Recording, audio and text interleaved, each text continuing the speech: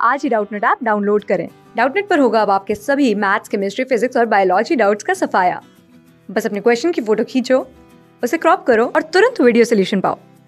Download now hello everyone the question is if A and B are two distinct real roots of the polynomial F of X such that A is less than B then there exist a real number C lying between A and B such that we have to find the condition which will fulfil all the given conditions So in this question, the graph according to the given condition will look like somewhat like this. It has two real roots a and b and a is less than b.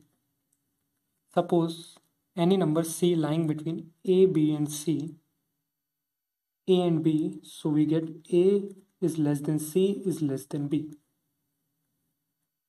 So here applying using Rolle's theorem.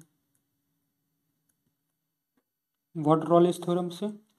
It says f dash c is equal to f of b minus f of a divided by b minus a.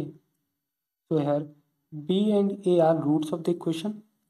So we get f of b is equal to 0 and f of a is also equal to 0 divided by b minus a which is equal to 0.